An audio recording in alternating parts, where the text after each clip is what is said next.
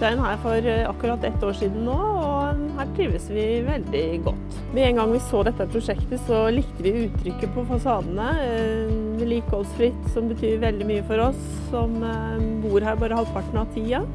Moderne inntrykk. Tiltalende inntrykk, vil jeg si at det er. Vi har vært så heldige å kunne levere kanadisk sederdre til 26 eneboliger på Lillebutunet i nærheten av gamle Fredrikstad.